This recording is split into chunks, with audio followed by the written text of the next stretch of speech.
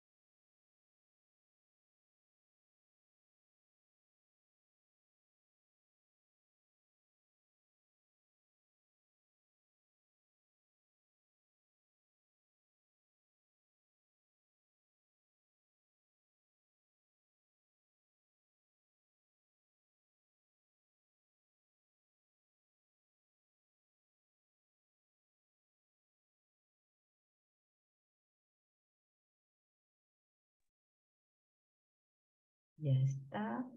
Muy bien por acá. Compartir. Chicas, buenas noches. ¿Cómo están? ¿Me escuchan? Buenas noches, Miss. Buenas noches, Miss. ¿Sí la escucho? Ya, un ratito, un ratito. Buenas noches. Buenas Miss. está. Miss, Buenas noches. Buenas noches, Miss. Ya te envié. Ya está. Esperamos unos minutos. A ver, tengo, uy, tengo ya 53 alumnas. Buenas noches, con todas las alumnas presentes. ¿Cómo está, Miss? Buenas, noches, maestra. chicas, buenas noches, buenas noches. Hola, Vamos, buenas noches, buenas noches, buenas noches, con todas mis alumnitas presentes. Gracias, Vamos a dar inicio a nuestra sesión de clase, a nuestra tutoría está programada, ¿no? Según nuestro horario establecido. Estamos, entonces, la semana pasada estuvimos hablando sobre investigación, ¿se acuerdan? Investigación, estábamos hablando acerca ¿no? de las preguntas de investigación, si es una investigación cualitativa, ¿no? Los, la, palabra, la palabrita que tenemos que conectar dependiendo de la investigación que nosotros vamos a hacer. ¿Estamos? Entonces, un lunes es relacionado a, ¿verdad? A lo que es investigación y otro lunes relacionado a lo que es, ¿verdad? Nuestro curso en sí. Relacionado, relacionado a lo que es desarrollo personal. Miren qué importante, ¿verdad? Que yo tengo que tener en cuenta, pues, hasta dónde es que lo voy a poner también en práctica. Y también se relaciona, yo todo nuestro curso lo relaciono con lo que es desarrollo personal. Pero nuestro cursito es, o cómo se llama nuestro curso? Desarrollo de la primera. Desarrollo Desarrollo personal social, la ¿verdad? primera infancia. importante. Desarrollo personal en la primera infancia. Ajá. Des- ajá. eh, desarrollo personal en la primera infancia. Desarrollo personal y social en la primera infancia. Desarrollo personal y social en la primera infancia. Entonces yo digo, ¿no? Ya esto creo que es, son varias, varias semanitas que estamos nosotros con todo ello. pues, ¿Verdad? A ver, Edith, de repente nos hemos olvidado de apagar nuestro, nuestro micrófono. Entonces, miren, siempre relaciono este cursito con el área de personal social. No, miren, ahí está nuestra área de personal social. Porque es importante todo ello. ¿Y cómo es que yo lo, lo voy a poner en práctica? ¿Cómo yo lo voy a poner en práctica más adelante? Cuando yo esté con un grupo de niños, ya sea del primer ciclo o segundo ciclo, o también, o también hasta con mis sobrinos, con mis hijos,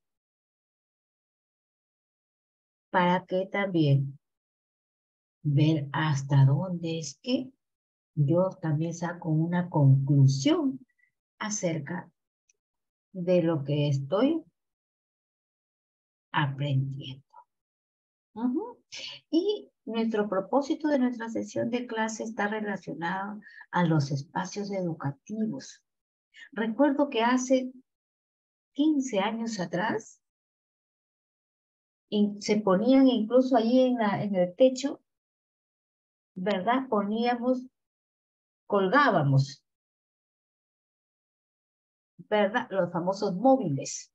No sé si ustedes se acordarán, hace 20 años atrás también se ambientaba con los móviles. Y poníamos ahí en el, en el techo y ya los móviles, ahí está. Pero era un, un adorno, una distracción. E incluso también, ¿no? Las aulas también. Desde arriba también, uno, dos, tres, cuatro, cinco, ya arriba. Pero con el devenir del tiempo, ya todo ha ido mejorando en cuanto a los espacios educativos. ¿Y qué nos dice María Montessori? ¿Qué nos dice el Ministerio de Educación? Ya no recargues tu aula, si es pequeña, no la recargues con tanto material, porque es un distractor para los niños, empezando desde el color de pintura que tú le tienes que poner a tu aula. Miren hasta dónde. Eso es importante. Colores fuertes no le pongas. De preferencia, colores pasteles.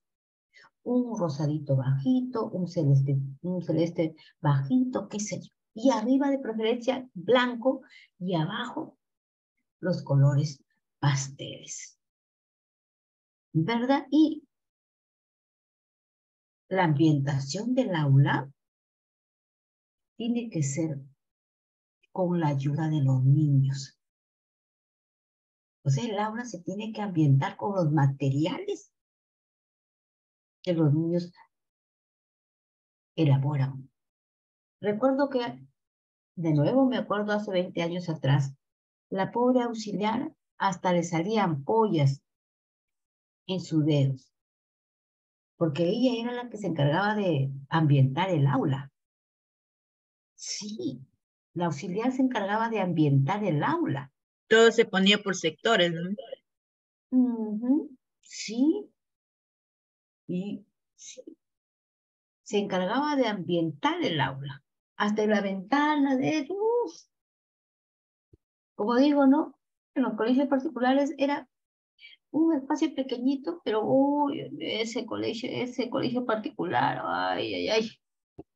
Creo que tú salías al mediodía hasta con dolor de cabeza de ver tanto material pegado ahí en, en las paredes. Pero no, ya los tiempos han cambiado, el auxiliar ya no. Toda la ambientación del aula tiene que ser con la participación de los niños y también con los sectores de trabajo. Estoy haciendo un preámbulo, ¿verdad? Sectores de trabajo. ¿Qué quiere decir que mi aula es grande? Bienvenido sea. Sectores.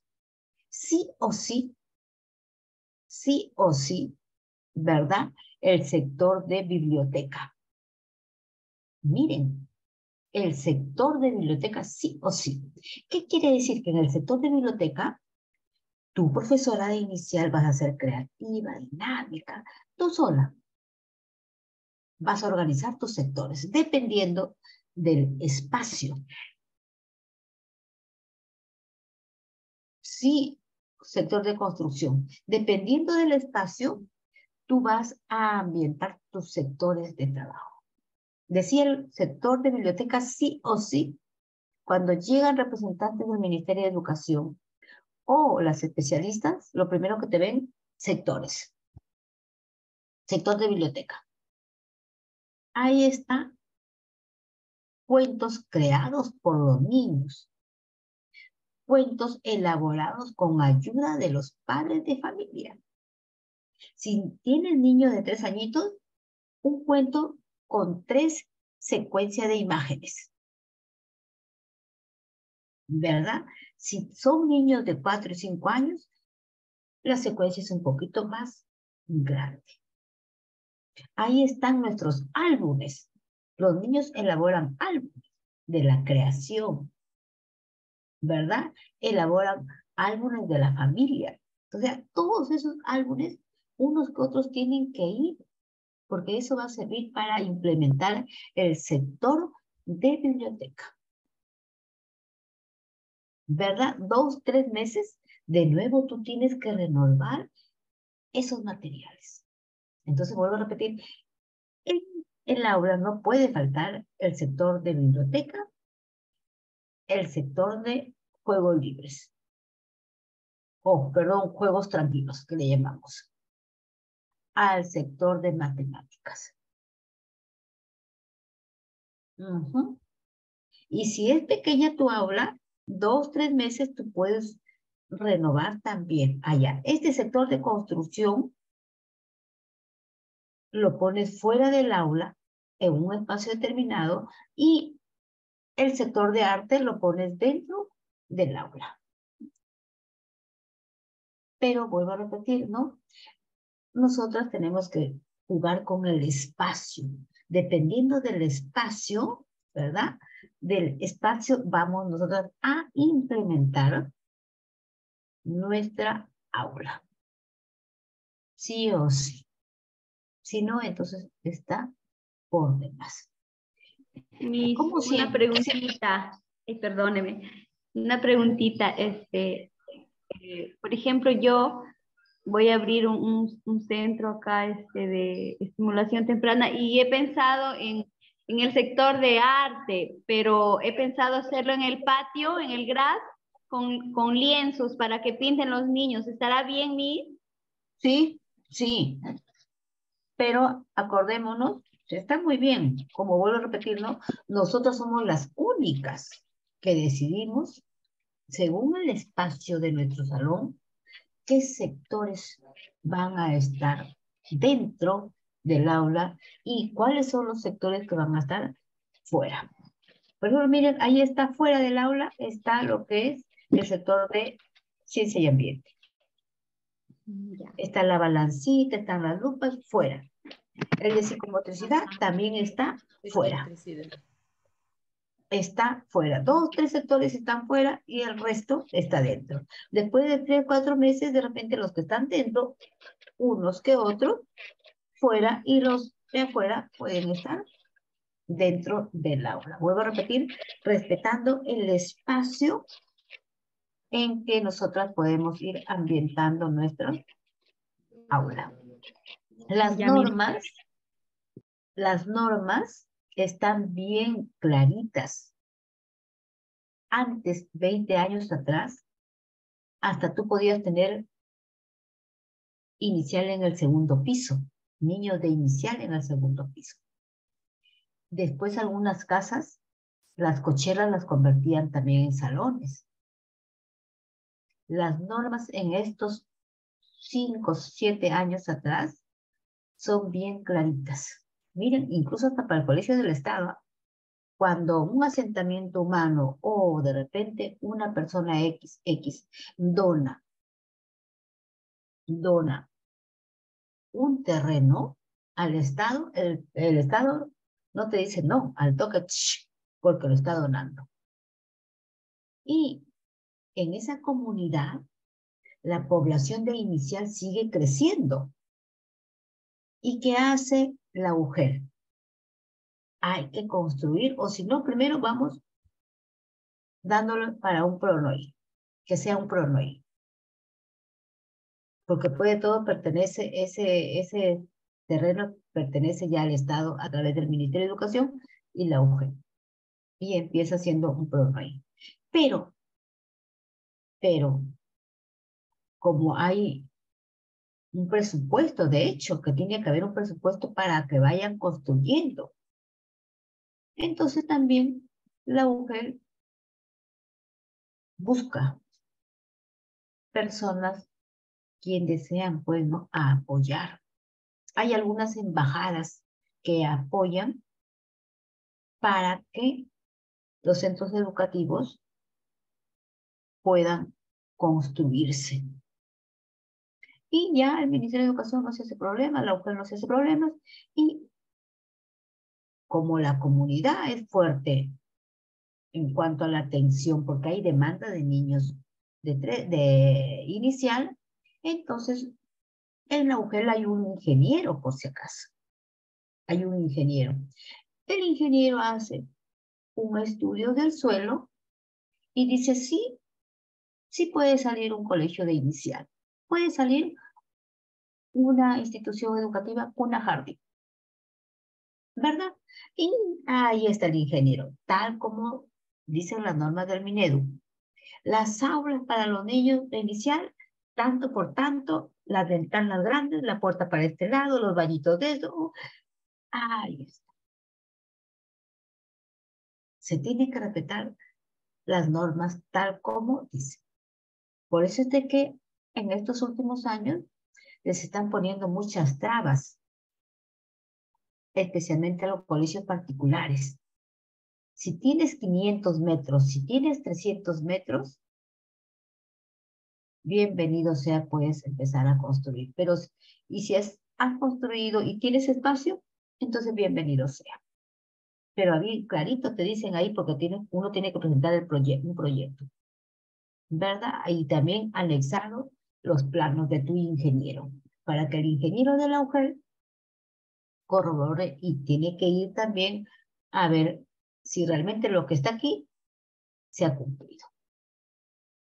¿Verdad? Entonces, algún, aquí en la capital, algunas personas dicen, ¿no? Que tienen proyecciones de poner un colegio particular. Dicen, uy, no, muchas trabas. Ahora el Ministerio de Educación está pidiendo demasiadas cosas está pidiendo un espacio para cocina, un espacio donde tienen que dormir, un espacio donde tienen que hacer psicomotricidad, los baños tienen que hacer esto, las aulas, dice, demasiadas cosas está pidiendo el Ministerio de Educación. ¿Verdad? E incluso también les mencionaba en los colegios estatales también igualito. Dice, no puede funcionar acá un colegio o un inicial porque no está acorde para que los niños puedan, ¿no? Puedan este, estar en este, en este espacio. Tiene que ser de acuerdo a lo que está pidiendo el ministerio. Bueno, eso alegan ellos, ¿no? Pero como les mencionaba, sí, la gran mayoría de estudiantes tienen esa visión, porque mis alumnas también de la universidad, también igualito, cuando yo enseñaba, también igualito, mis, este, ya tengo un terreno, el propio, porque si es alquilado, tampoco. Si van a poner su centro educativo, que sea propio el terreno, o sea propia la vivienda porque el dueño sabes que cada año vas teniendo más niños o durante los meses te aumentan los niños, el dueño o la dueña te va a cobrar el triple. Entonces mejor te sugiero, o también, así conforme ves tus entraditas, tienes que proyectarte para un terreno o una casa propia donde más o menos esté acorde con la atención que le vas a dar a los niños. Sí, yo sé que la gran mayoría tiene proyecciones, ¿verdad? De poner un centro educativo particular. pero no hay que perder las esperanzas, ¿no? Uno lo hace y frente a ello, esto se tiene que mejorar, esto se tiene que mejorar. Y justo estamos hablando pues de los espacios educativos. ¿Verdad? Que no se trata de, de ambientar por ambientar el aula, porque vamos a distraerlo al niño. Ya son distractores y todo ahora es a la altura, ya arriba ya no hay nada en la pared. Todo está al nivel, a la altura del niño con la finalidad que el niño lo pueda utilizar el niño tiene que utilizarlo sí o sí, porque tampoco no es para que esté o para que sea un adorno. Entonces, vamos por acá, bien clarito dice, a ver, vamos viendo acá. Ahí está. Dice, ¿qué se entiende por espacios educativos? Dice, viene a ser un ambiente de aprendizaje que promueve y fortalece el desarrollo de competencias sociales y cognitivas en los niños. Vuelvo a repetir, dice, viene a ser un ambiente de aprendizaje. Es un espacio donde el niño está aprendiendo a través de las diferentes estrategias didácticas que tú utilizas. Desde que el niño llega ¿verdad? Deja su lonchera y va al sector donde a él, ¿no? Donde él ha elegido. No es que de la mano lo vamos a llevar el sector de construcción y te quedas acá, no. ¿Verdad? El niño elige el sector. Has elegido este sector, ahí te quedarás has elegido este sector, ahí te quedas. Cuando yo veo que hay demasiados niños que han elegido el sector de biblioteca, ahí sí recién yo entro. No, ya sabemos que no todo. Miren, el sector de arte, tan solo hay un compañerito. Mientras que aquí en el sector de biblioteca son siete, demasiado. Entonces, dos de ustedes tienen que pasar al otro. Y mañana ¿no? Ahorita estás en el sector de arte, pero mañana tú estás en el sector de biblioteca. El niño entiende. El niño entiende. Eso vuelvo a repetir, ese ambiente de aprendizaje donde promueve y fortalece el desarrollo de competencias sociales. Los niños interactúan, ¿verdad? Los niños se socializan. Los niños participan. Y a la vez también van desarrollando habilidades comunicativas, porque, porque expresan lo que han realizado. A la vez también van desarrollando habilidades cognitivas, están concentrados leyendo el cuento, según. Y, y ahí ellos solitos hablan con los personajes, ah, es su mundo. Ahí están anonadados con el cuento. El otro niño está armando palabras con las letras móviles. hay habilidades cognitivas, atención, concentración, memoria, retención, para que después que ellos guarden el material, a ver, vamos a socializar. ¿En qué sectores estuvieron? ¿Qué hicieron? ¿Con qué materiales trabajaron?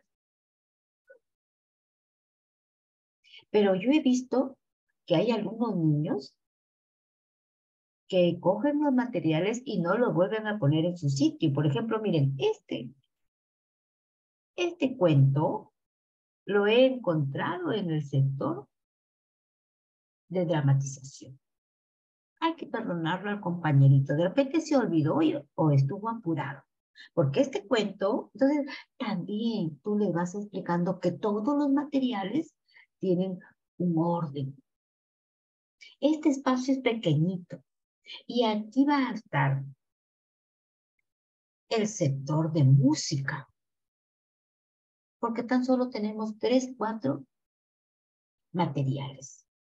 Pero también ya sabemos que podemos durante la hora en que estamos jugando con los sectores, dependiendo del sector que hemos elegido, podemos utilizar los materiales, pero volviéndolos a poner en su respectivo lugar. Los niños, chicas, entienden y comprenden. Si no, a la pobre auxiliar le duele hasta la columna. O sea, el niño tira a las 12 contento y feliz, 12 y media, el niño se va contento y feliz. Y la auxiliar, ya son las una y media, y la auxiliar no termina de armar los rompecabezas. Yo, profesora, si, si tengo niños de tres añitos y quizás porque no he dado bien la orientación, los padres me han traído rompecabezas con 20 piezas, yo lo pongo arriba. O si no, le digo al auxiliar, por favor, esos, esos rompecabezas hay que guardarlos. Porque para tres añitos, 20 piezas, no. Con las justas son seis, siete piezas y esto es, y grandes, ¿ah? Tipo encaje para el niño de tres añitos.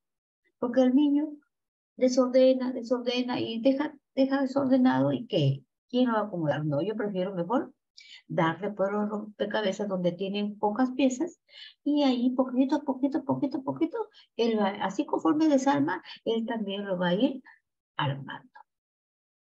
Estamos entonces ahí bien clarito, dice, vamos a promover, vamos a fortalecer competencias. A eso se refiere en cuanto a los espacios educativos. Sigamos. Sigamos con los espacios educativos. También dice, ¿no? El espacio educativo no solo alude a la sala de actividades, sino a los más diversos espacios donde es posible establecer un encuentro educativo sistemático. ¿Qué quiere decir que tan solo en el aula no se da ese espacio educativo, sino también, ¿no? A otros espacios donde también nosotras podamos hacer que los niños sigan aprendiendo. En algunos centros educativos de inicial hay un aula hay un espacio donde hacen psicomotricidad. Como tienen espacios todavía, la institución educativa tiene espacios para seguir construyendo, ¿verdad? Entonces, han construido un aula para psicomotricidad y es grande, ¿eh? Grande, hay colchonetas, diversos materiales. Y ahí en esa aula, muy aparte del patio, los niños también hacen ¿no? actividades de psicomotricidad. O sea, tan solo no es que en el saloncito. Yo busco otros espacios donde también puedan hacer actividades dependiendo de mi propósito, de mi actividad. Lo que es, por ejemplo, matemática y psicomotricidad es en el patio. Sí, es en el patio. Sí, yo estoy hablando que vamos a lanzar una pelota, ¿verdad? A una distancia determinada, psicomotricidad, matemáticas, van de la manita. Y empiezo a hacer mis actividades de psicomotricidad. Primero, motivo con una canción. Con todos mis amigos hacemos una ronda. A ver, vamos, todos cogidos de la mano. Que me da mucha risa porque es toda redonda. A ver, a ver, vamos. Ah, bien redondita el círculo. La ronda. Ahora hay que soltarnos. ¿Ah? Saltar en el lugar. Dar muchas, muchas vueltas, tomar su delantal. Ahí está. Eso me va a servir para que libremente, respetando su espacio, yo pongo la cajita y libremente van a lanzar la pelota. Van a ser teatreros, porque yo soy teatrera. ¿Verdad? Se van a poner de frente, otro se va a voltear ¿verdad? También otro va a ser así, el otro, uy, ahí ellos, ellos son lo máximo para lanzar la pelota en diferentes posiciones. Atentos, ahora yo empiezo a dar la consigna. Primero libremente, ahora mi consigna. Miren, pero miren el orden, el espacio que cada uno tiene para lanzar la pelota a una distancia determinada y pueda caer dentro de la, de la caja. Son estrategias que cada docente utiliza en su quehacer práctico. Entonces, no necesariamente puedo hacer todas las actividades en el aula. Yo también puedo coger otro espacio para trabajar con mis niños, dependiendo, perdón, el propósito de mi sesión de clase. Diferentes. Si estoy con los niños de 5 años, de igual manera. No me complico la vida. Un día a la semana, de repente, a dos cuadras, hay juegos recreativos. De repente, en el, jardín, ahí está el sub y baja, la resbaladera. Pero de aquí a dos cuadras hay un, hay un parque. Y nos ponemos de acuerdo con otra colega y me los llevo. ¿Verdad? Ahí hay varios. Está el columbio, ¿verdad? Ahí es donde también se trepan. También está donde, bueno, diferentes juegos. Mi auxiliar y ahí estamos. Ojito, ojito para que no puedan golpearse, qué sé yo un poco de psicomotricidad también.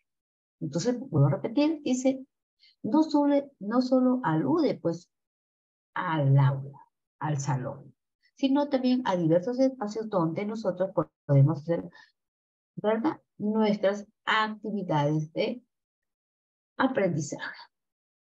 Entonces, la concepción del espacio educativo dentro del currículo, de la educación parvularia, de la educación de los niños requiere una dimensión dinámica, amplia, creativa y flexible.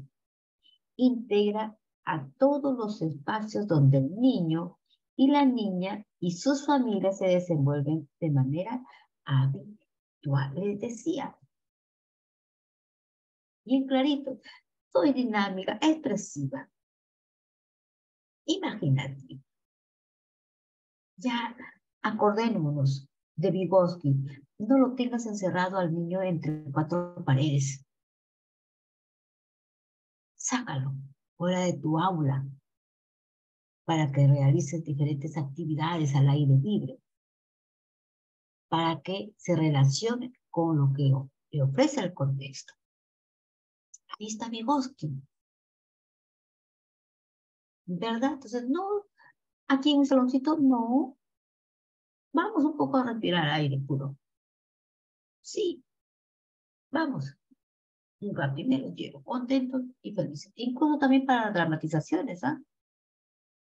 También, mi auxiliar y yo vamos cargando el teatrín de cartón. Y también vamos ahí.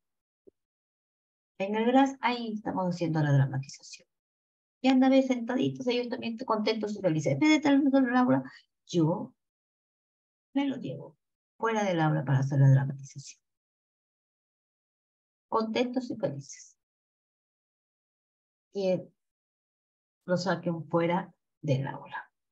Entonces, miren, acá dice, ¿no? La concepción del espacio educativo dentro del currículo de educación inicial requiere de una dimensión dinámica, amplia creativa, flexible, ¿no? Que integra todos los espacios donde el niño, la niña y la familia se desenvuelven de manera habitual. ¿Qué quiere decir? Los padres de familia, cuando por primera vez llegan. ¿Puedo mirar, puedo conocer el centro educativo? Claro, señito, pase.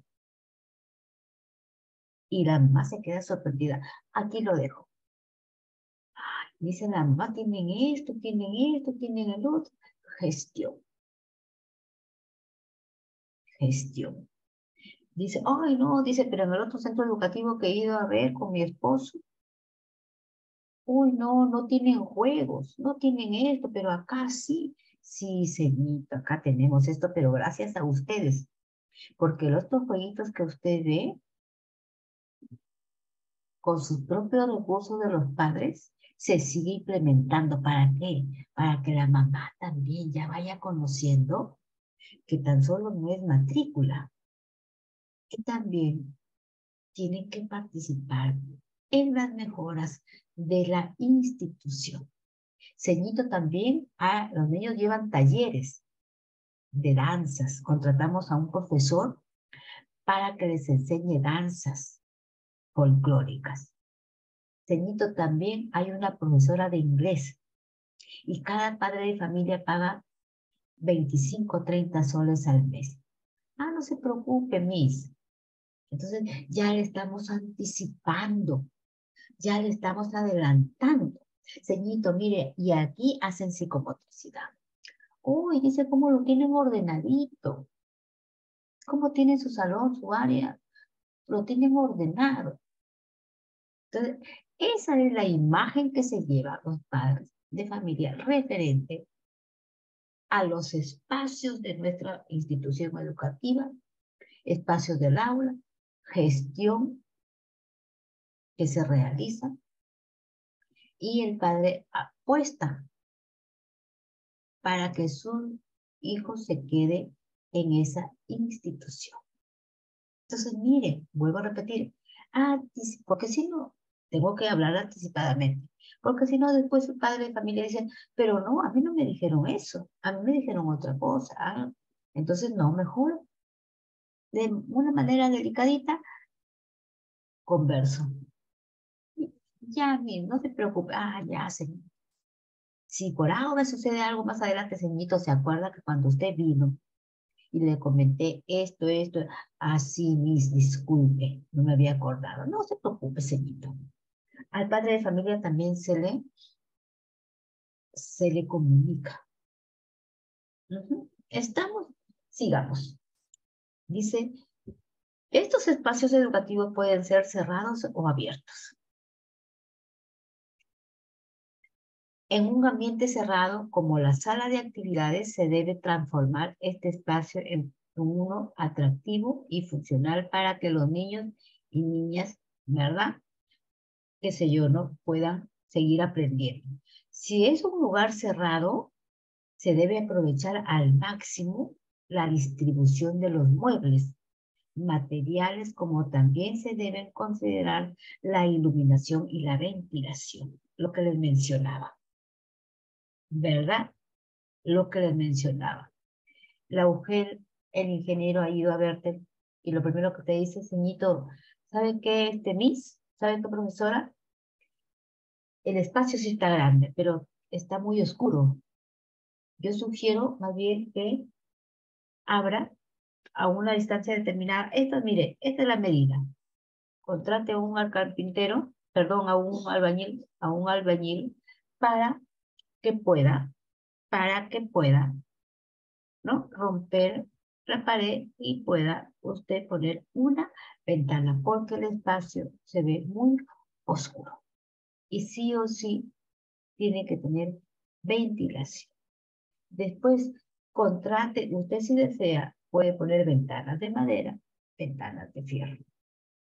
¿Verdad? Después también a un carpintero, pero estas son las recomendaciones. Estas son las recomendaciones que voy a dejarle para que el carpintero que va a elaborar la puerta o le va a poner la puerta que dice usted que ya la compró, tiene que ponerla, qué sé yo, ¿no? Tipo vaivén, que se hacia afuera, hacia adelante, ya. Ahí está, con las indicaciones que el ingeniero está especificando, también el carpintero lo tiene que hacer tal como se debe. Entonces, los espacios tienen que ser amplios y ventilados. No tan oscuros, porque si no se va a ver demasiado técnico. Digamos. Espacios externos.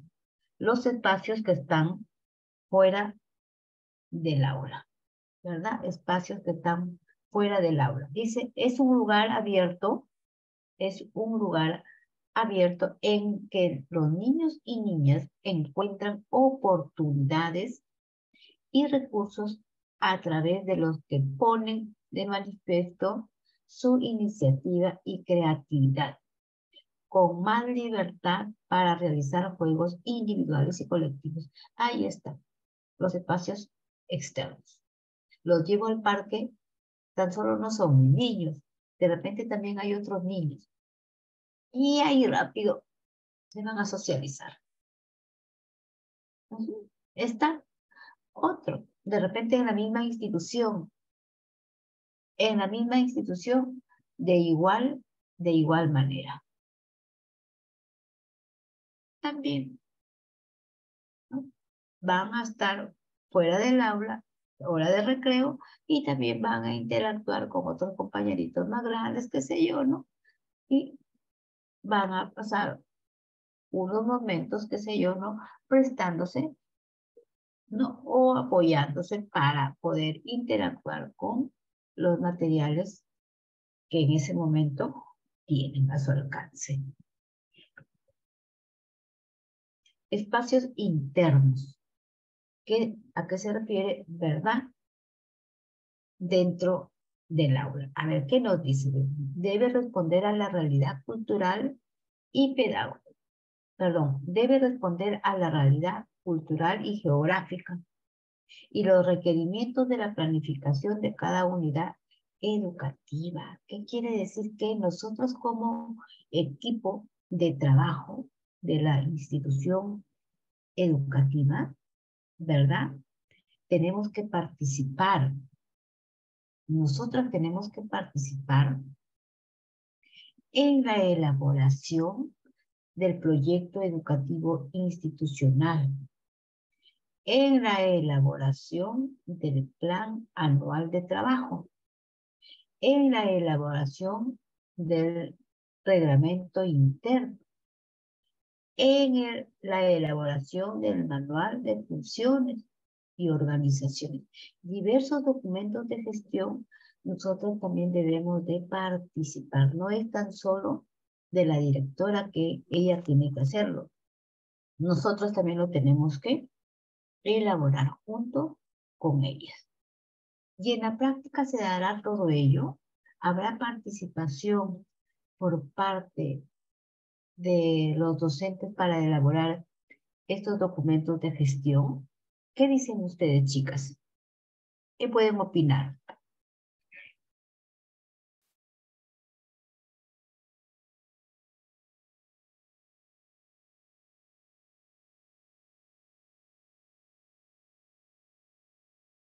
¿Qué pueden opinar?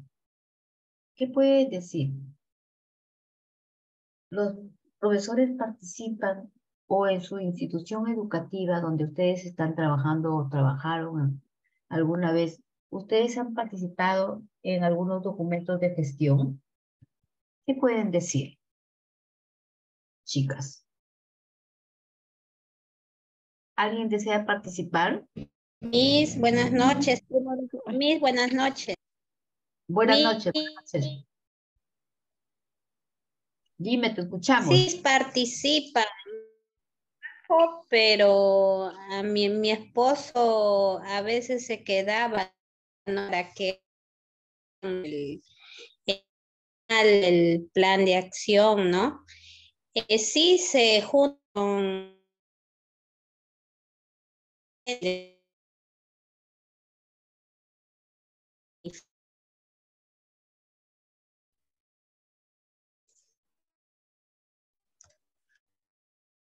Se le fue, creo, el... ¿Tiene problemas de conectividad? Nos dice que su esposo también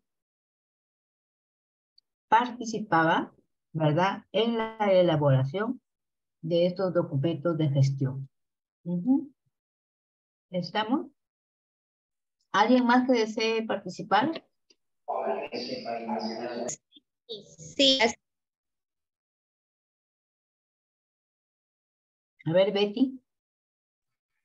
Mis, este, sí, yo también trabajé, pero con, con, una ONG y nosotros sí, cada año, este, eh, mensual, nos reuníamos para hacer la programación, por ejemplo, ¿no?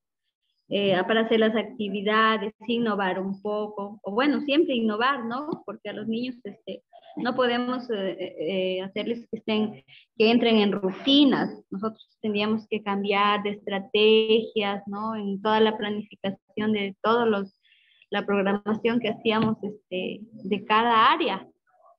Y así hemos trabajado todos los años siempre para hacer las actividades, por ejemplo, las fechas cívicas también nos teníamos que reunir todos, ¿no?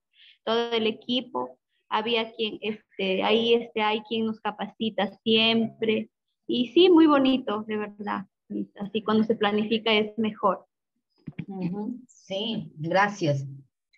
Es verdad, nosotras como equipo de una institución, sí o sí tenemos que participar de estos documentos de gestión. ¿Verdad? ¿Por qué? Porque ahí están todas las actividades que nosotras vamos a realizar durante un año o durante procesos determinados. Están las visitas educativas, están los talleres dirigidos a nuestros padres de familia. A través del reglamento interno están nuestros deberes, derechos y funciones de los padres de familia, de los niños, del comité de aula del auxiliar y de la docente. ¿Cuáles son mis deberes, derechos y funciones como docente? Participar de las capacitaciones y actualizaciones que convoca la UGEL, Perú Educa, Ministerio de Educación. Otra función, mantener informado al padre de familia sobre el avance de su hijo. Miren, ahí está. Funciones. Yo tengo que participar del reglamento interno. Porque si no, entonces, no es tan solo que ya voy a dar mi clase y se acabó. No, no. Hay que participar en estos documentos de gestión. Luego dice, la organización de los espacios debe ser flexible, considerando los patrones culturales, recursos disponibles, los criterios propios de los agentes y las características, necesidades e intereses de las niñas y de los niños. ¿Qué dicen? Respetando patrones culturales. ¿Qué quiere decir? Que de repente yo estoy con la región de la selva, región selva, y cómo tengo que ambientar mi aula.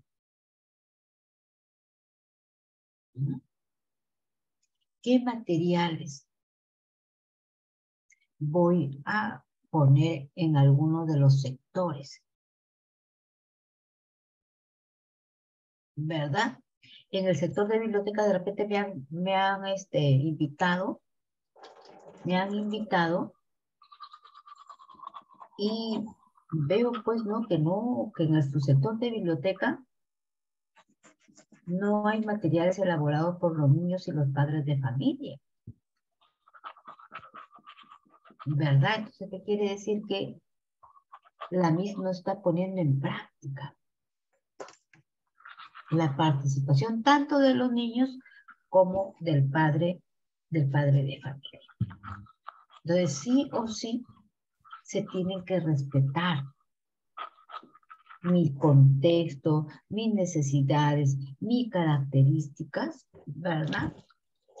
En cuanto a la organización de los espacios. En cuanto a la organización de los espacios. Digamos. Dice Aquí está, el paso citarlo ya está. Importancia del espacio. ¿Ya, verlo? Importancia del espacio educativo. Dice, la propuesta actual de la educación plantea una mayor flexibilidad. Lo que Te vaya a dejar con la... Póngase su polo. Póngate tu polo. Cualquier día vas a aguantar. Tu audio, después aguanta.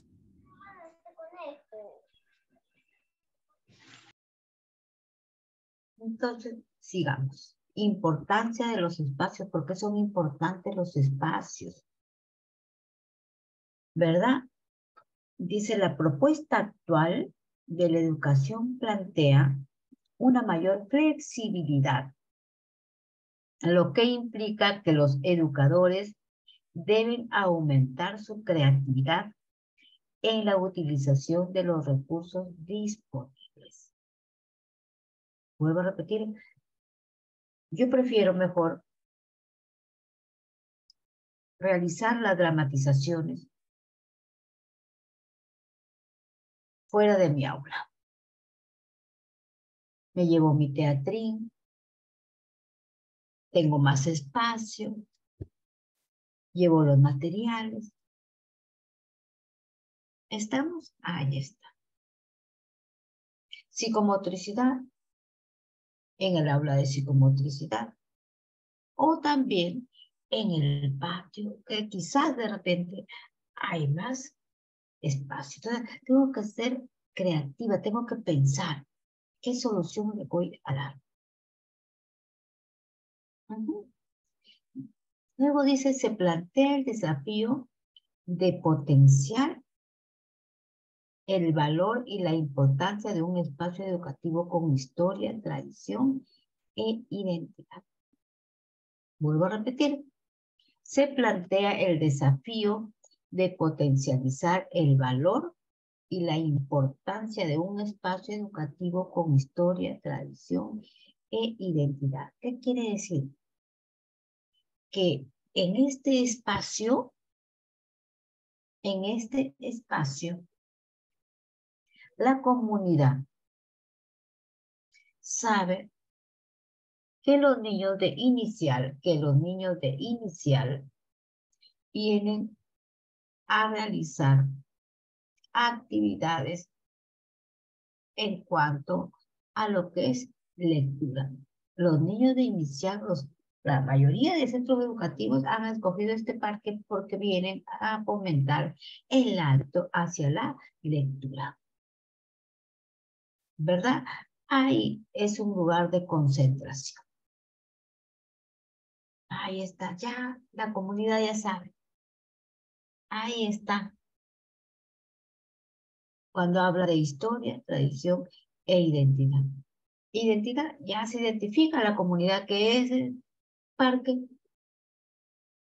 Se van a encontrar o van a encontrar a los niños de inicial, fomentando el hábito hacia la lectura, dependiendo de la actividad que deseen realizar.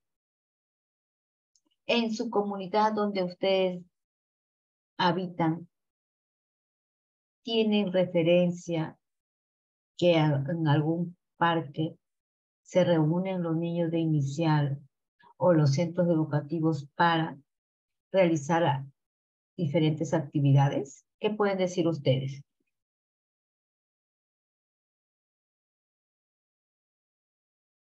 ¿Qué pueden decir?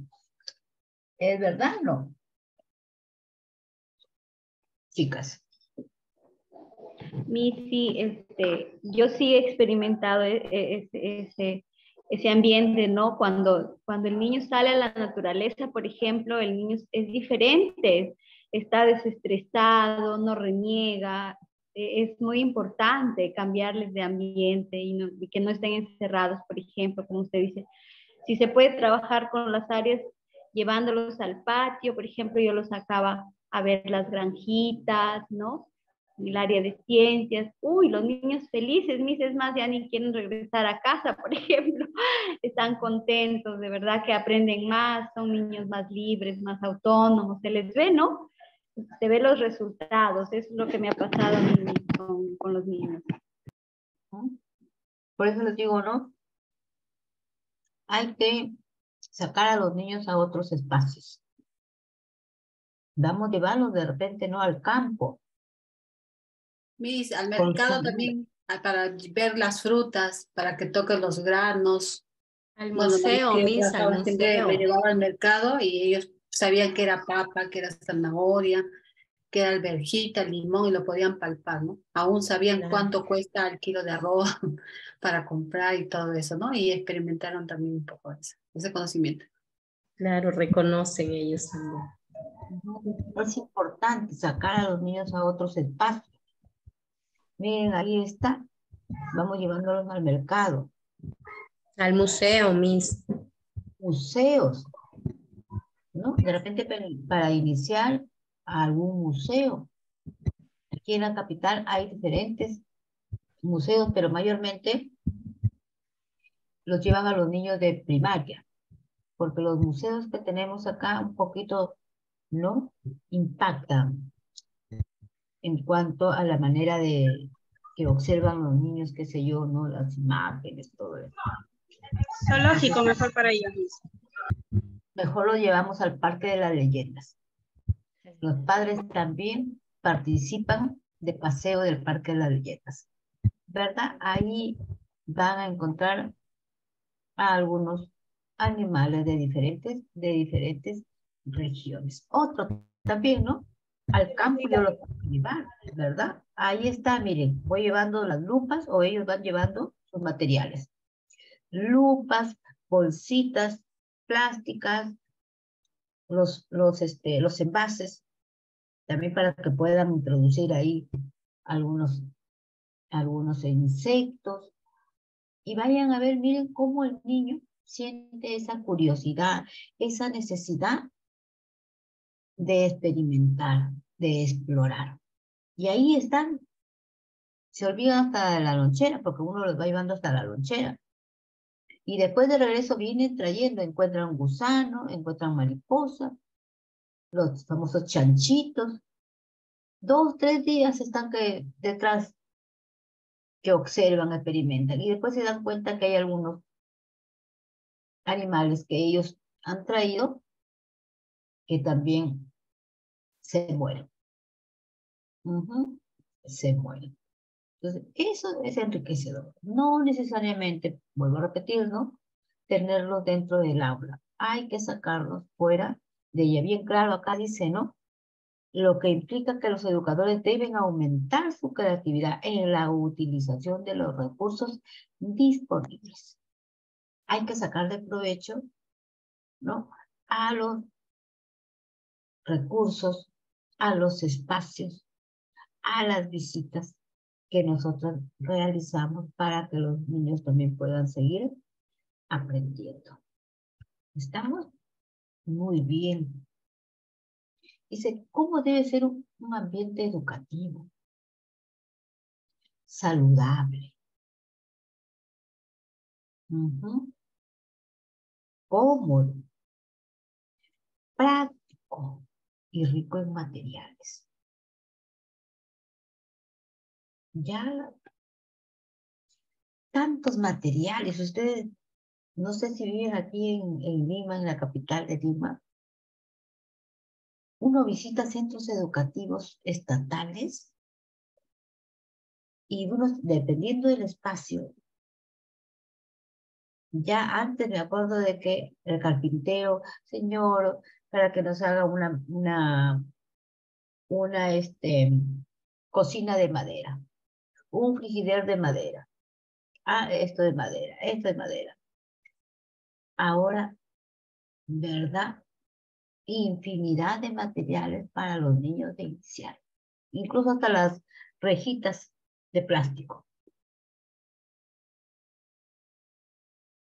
Las escaleritas para los niños de cuna también, ah, de a una distancia determinada donde el niño también lo pueda utilizar.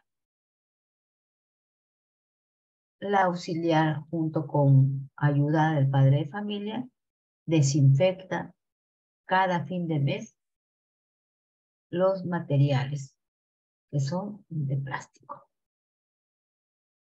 ¿Verdad? Con una madre de familia que ayuda para desinfectar esos materiales, porque los niños tienden a llevarse a la boca todos los materiales, ¿verdad? Entonces también se desinfectan, se lavan, qué sé yo, ¿no? Y los niños también pueden seguir utilizando. Ahí está un ambiente saludable. Bien, venido sea. No tóxico, no con tanta cosa, cómodo, ¿Para qué rellenar, el aula? Con las justas uno puede pasar, peor los niños, peor los niños, así. Total, mientras que ellos salen, ya van empujando, se van botando, qué sé yo, la silla. Entonces, no. Si el espacio es pequeño, ahí está. Además, ¿cuántos niños, según normas, tienen que entrar. Ocho niños son de, de primer ciclo, ocho niños pueden, se puede atender. Pero muchas veces sacamos la vuelta al ministerio, tenemos 10, 12 niños de cuna en la aula. En el segundo ciclo, en jardín, ¿verdad? 15 niños, dependiendo también el espacio. Pero a veces 25 niños, 20 niños, ¿verdad? Un montón de niños. Entonces también no podemos atender por el espacio. Ahí los tenemos juntitos en una mesa. Tenemos seis niños y esto es. Y cuando quieren hacer sus trabajos, así, un espacio pequeñito. Entonces no puedes. Puedes poner, dependiendo también de el espacio de la mesa, tienes que ubicar a los niños, pero para que ellos también se sientan cómodos al trabajar. No se trata de, bueno, rellenar el salón, decir tengo cantidad de niños, no. Se trata más bien de ver, de ver en cuanto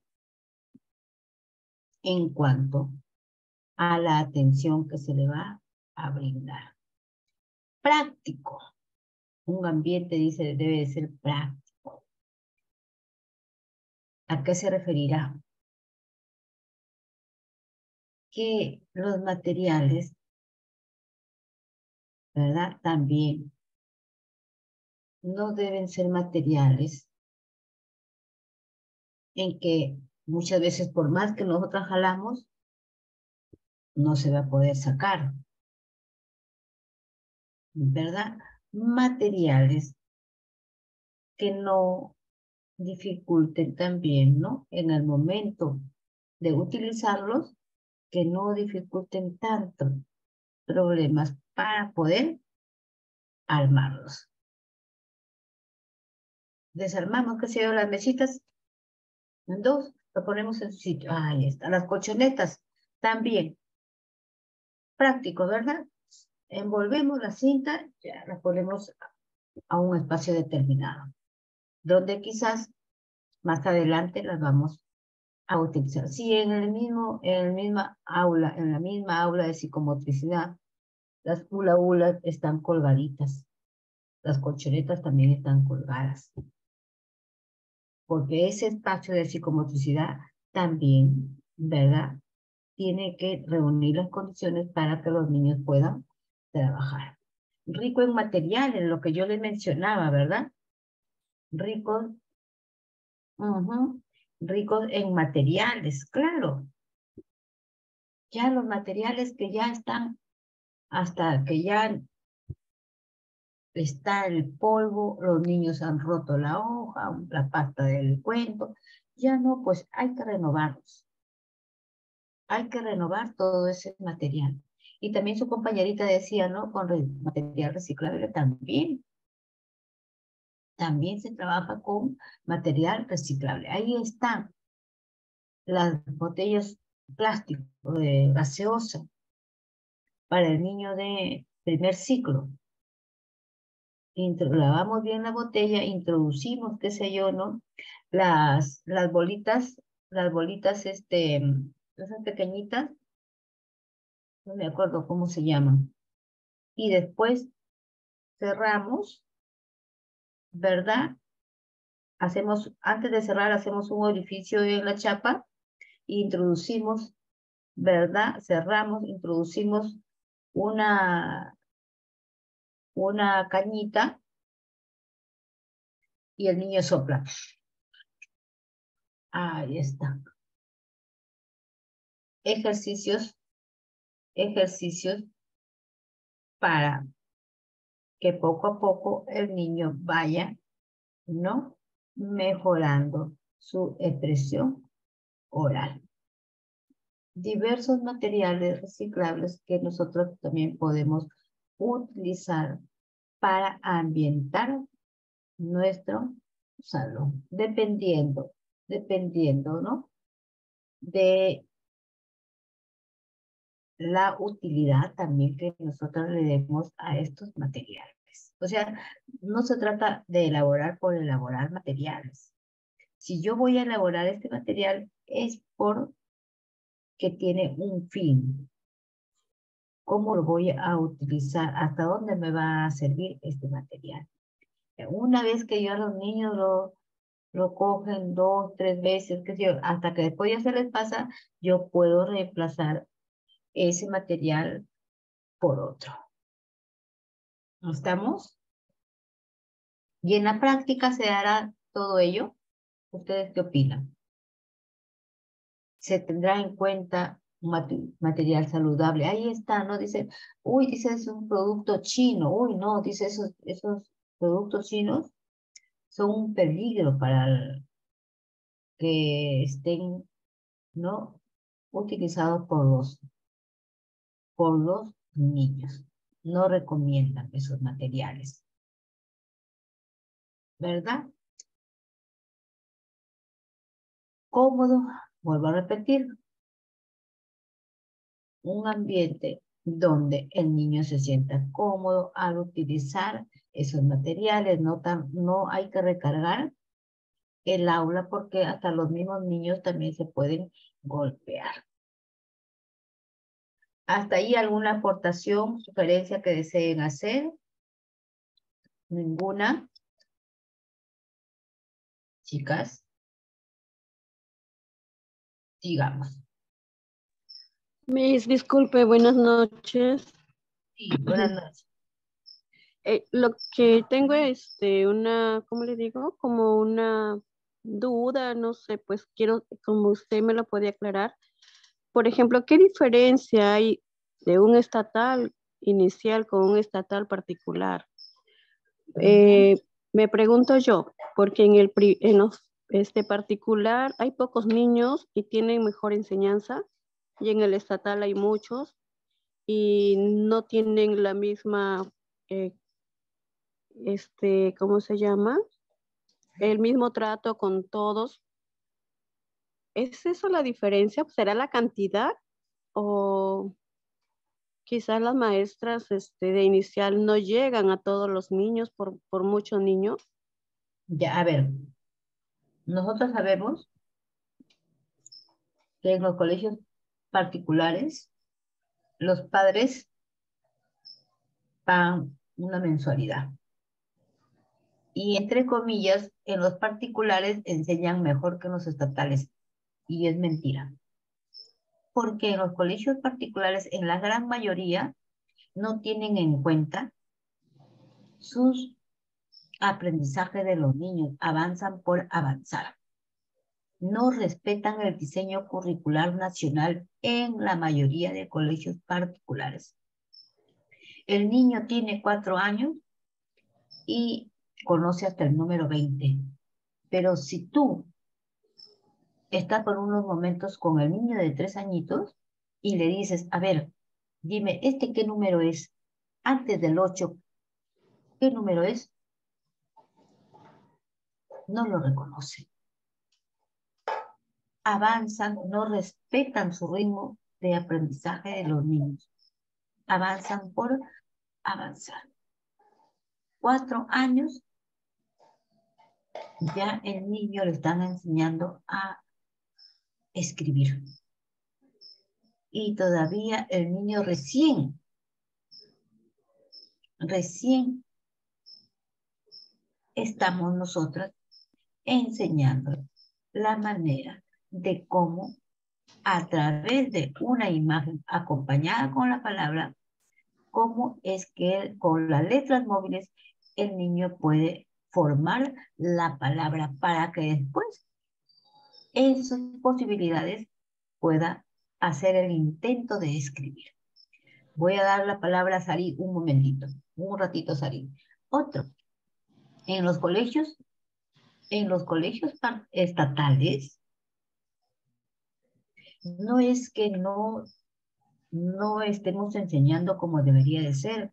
En los colegios estatales la mujer nos sigue, la mujer nos supervisa, y nos llama la atención cuando no respetamos el diseño curricular nacional, no respetamos sus estilos de aprendizaje, sus características. Si tú tienes niño de tres años, ¿por qué estás haciendo esto si no le corresponde al niño de tres años hacer esto? Al niño tú has revisado el DCN, tú eres profesional, y bien clarito dice, no, mira, estos son los contenidos que le corresponde enseñar al niño de tres años. ¿Por qué estás haciendo un contenido de cuatro años cuando todavía recién el niño está en un proceso de aprendizaje? Entonces, en los estatales no es que se les enseñe mal. Vuelvo a repetir, es no, porque... No digo que les enseñe mal, sino que algunos veo que como hay cantidad de niños, entonces quizás a veces no todos ponen esa atención, ¿no? Por la cantidad que hay, pero sí, sí he escuchado que los estatales, o sea, tienen toda esa currícula.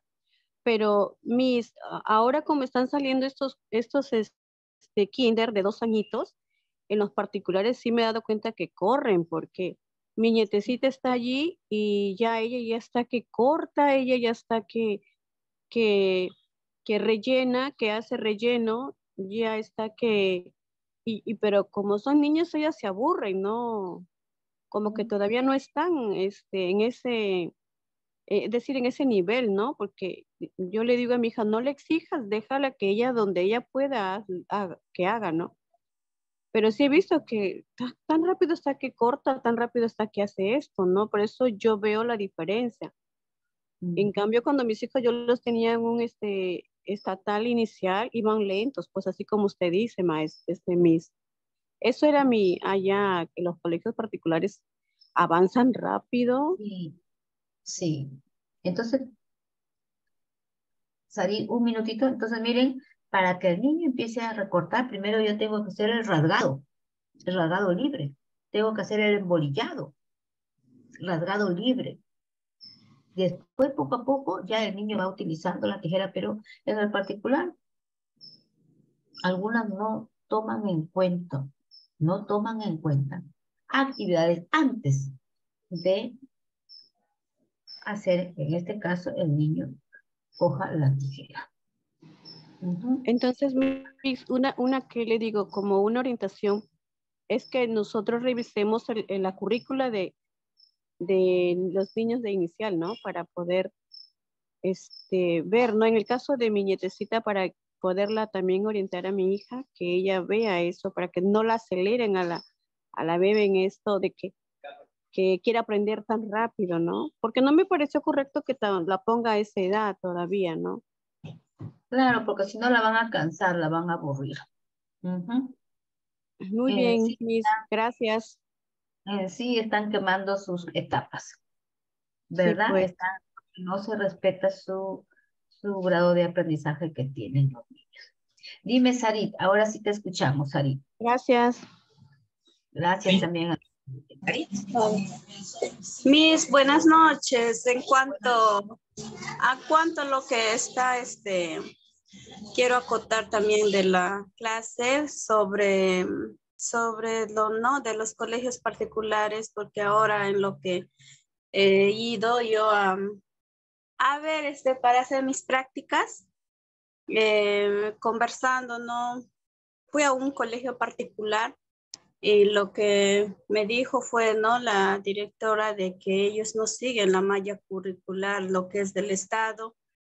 En todo caso, este, no, no valdría la, la firma de, de, ellos, ¿no? Porque de repente yo voy a querer tomar una clase o algo así donde no va de acuerdo con, su, con, con lo que ellos llevan, con la clase de que ellos llevan, pues. Y, y, ahí, ¿no? Estando así, los colegios, los, las aulas son bien pequeñitas y es muy colorido, donde, como dice usted, ¿no? De uno sale, pues no sabe ni qué miró, porque hay mucho material trabajado. Muy recargado. Sí, muy recargado, pero no, no, no es de los niños, es lo, lo que hace, me imagino, es las profesoras, ¿no? Y en cuanto a la educación, es este, muy pobre porque veo así, ¿no? Por lo que las maestras eh, no son capacitadas, este, no de la manera de que como nosotros este, estudiamos de repente quizás año tras año, solamente de que el profesor les da un, un tema, el director o la directora les da un tema donde ellos deban, deben de desarrollar y lo recargan, pues, ¿no? De trabajo al niño. Mm, digo también porque mi, mi hijo de mí estudió en particular los primeros años. Fue muy, muy cansador para él, donde llegó el momento donde él ya no quería ir al colegio, se estresó demasiado, ya los trabajos él no los podía hacer y yo los tenía que hacer y, y eso no, no es así, en cambio lo que es en el estado, mi, mi hijita segunda, ella sí está en el estado estudiando y mucho, mucho mejor ha sido su aprendizaje porque y ella siempre quería ir, siempre, ¿no? Era diferente la, lo que ellos este, enseñan, pues. Este, eso era mis, lo que quería contar, la diferencia que hay. Sí, hay diferencias, como digo, ¿no? En algunos particulares avanzan por avanzar. No toman en cuenta nuestro diseño curricular nacional. Y los padres de familia dicen, ah, es buen colegio, pero es mentira. Porque como no respetan su ritmo de aprendizaje, lo que el niño le corresponde, le corresponde por su edad aprender, entonces muchas veces el padre de familia tampoco, ¿no? Ignora de lo que al niño le corresponde aprender por su edad. En los estatales es distinto es distinto los hospitales. Sí, dime Anaís. No soy Ulisa, yo quería hablar. Mi, mi, ahora que hablamos, disculpe, este, eh, eso de los niños que en particular, eh, pero son, depende de cada niño también, me parece, ¿no? Que cuando uno les pone en el estatal, claro que es un poco bajo porque es la, la diferencia de enseñanza es muy, muy grande. Y en el particular enseñan este, eh, más, avanzan más, como, como dijo una compañera, corren, ¿no? Pero también es depende de cada niño, cuando tú le das, eh, le enseñas, ellos, ellos mismos también avanzan, pero hay niños claro, no siguen esa misma habilidad que otros.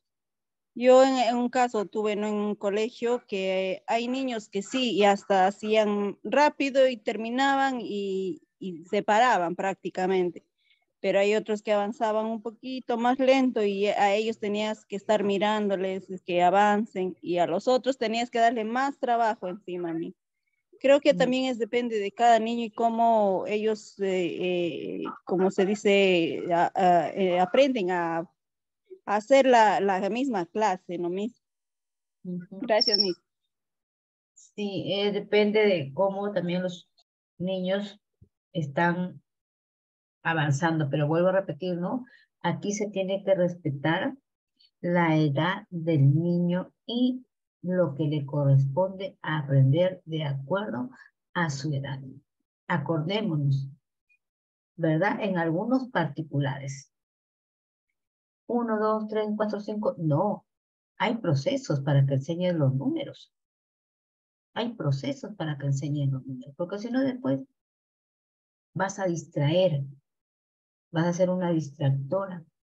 Y el niño avanza, avanza, avanza, pero no sabemos si realmente estará aprendiendo como debería de ser. Ahí hay que tener bastante cuidado. Sigamos. Aquí está el ambiente de aprendizaje. Dice, un ambiente de aprendizaje hace referencia a la organización. Miren, bien clarito dice, ¿no? Hace referencia a la organización del espacio, disposición y distribución de los materiales y recursos,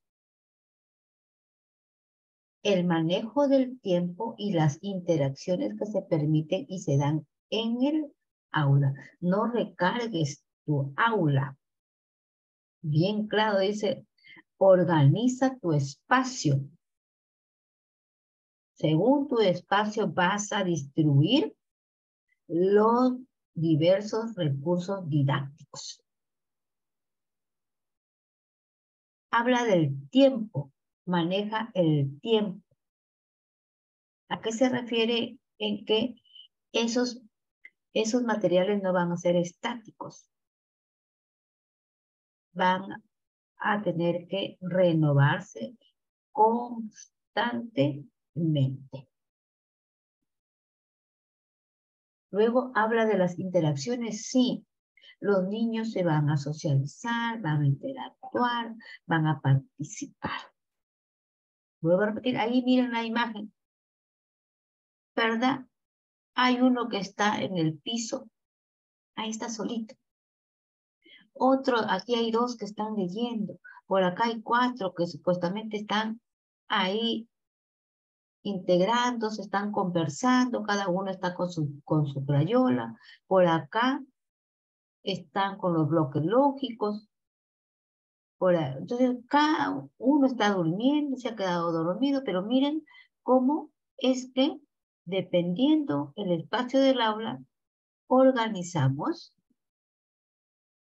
el aula con los diversos materiales. No, no recarguemos las aulas por salir del paso. Eso va a ser un distractor para el niño. Acuérdense, el Ministerio de Educación, todo está a la altura del niño. ¿Qué quiere decir? Arriba, no todo está a la altura del niño para que los niños también puedan utilizarlo, ¿verdad?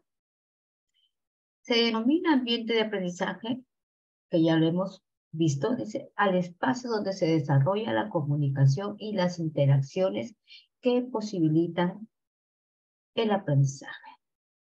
Voy a explicar, los niños van a, van a integrarse, van a participar, con esta perspectiva se asume que los ambientes de aprendizaje, ¿verdad? Que los ambientes de aprendizaje y la actuación del docente va a ser importante para construirlos y emplearlos como deberían de ser. vuelvo a repetir, los ambientes de aprendizaje, ¿verdad? Vienen a ser un punto importante porque va a permitir que el docente pueda emplearlos tal como se debe. ¿Qué quiere decir? A ver, voy a emplear eh, las figuras geométricas. Para mi sesión de clase de hoy día, las figuras geométricas. Voy a hablar sobre color y forma. Voy a emplear figuras geométricas. ¿Estamos? Entonces, ¿qué quiere decir? Que voy a compartir o voy a dar materiales a los niños para que según el color y forma y según la consigna que doy, los niños puedan realizar. A eso se refiere en cuanto a la manera, cuando dice no, actuación del docente para construir o emplear tales, ¿no? Materiales. Por acá nos dice, ¿no? Un ambiente de aprendizaje a través de los materiales, de los diferentes materiales que podemos, podemos nosotras observarlos, manipularlos, explorarlos y los encontramos en el sector de juegos tranquilos. Otro donde la docente está narrando un cuento a los niños dentro del aula. Cuando los niños, otra imagen, cuando los niños, ¿verdad? Están en un proceso educativo realizando, ¿no? Lo que la MIS les ha explicado y lo ponen en práctica a través de sus, de sus dibujos o de lo que fue el propósito de la sesión de clase. Entonces, miren, son diferentes actividades que nosotras podemos hacer o podemos realizar en los ambientes de trabajo. Está la infraestructura, está la parte socioafectiva, las actitudes, dependiendo de cómo nosotros le demos uso a nuestros materiales educativos y sobre todo respetando el espacio. Respetando, por más que nosotros digamos, ah, esto está bonito, esto es lo que me gusta, esto lo quiero poner, si ya tu espacio de tu aula no amerita, entonces ya no lo recargues. O bien retiras. Dijiste, más si tienes para que de arte. O bien retiras ese material y pones Después no me vengas con jaladas, maestro, cuando no cumplís con tus tareas. Ah, tu, audio, compañera.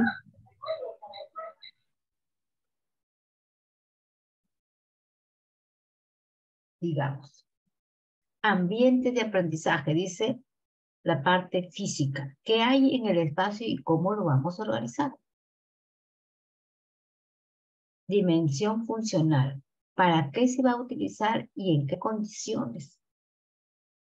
Vamos a utilizar. Dimensión temporal. ¿Cuándo y cómo se va a utilizar? Dimensión relacional. ¿Quién y en qué condiciones se va a utilizar? La dimensión física ahí está clarito. De acuerdo a tu espacio, organiza, ¿verdad? Tu aula. ¿Cuál es la función de que estos materiales estén en el sector de biblioteca, en juegos tranquilos y en qué condiciones están esos materiales como para que tus niños los puedan utilizar? ¿Verdad? Dimensión temporal. ¿En qué momento se van a utilizar? Y cómo lo vamos a utilizar. Si no, entonces mejor reemplaza por otros materiales que sean más novedosos y que también, ¿no? El niño sienta esa iniciativa, esa necesidad de querer seguir utilizándolos. Y la dimensión relacional, como volví a repetir, ¿no? ¿Quién, a qué se refiere, ¿no? Al niño y en qué condiciones vamos nosotras a seguir utilizándolos. Entonces, vuelvo a repetir, ¿qué me da a entender todo esto? Cuando hablo de espacios educativos, que primero yo tengo que hacer una evaluación. De acuerdo a mi espacio, podré ambientar, podré organizar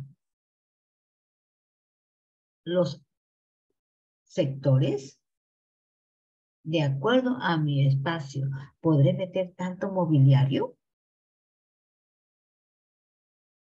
Pupitre, silla, dos armarios, mesas, sillas. No.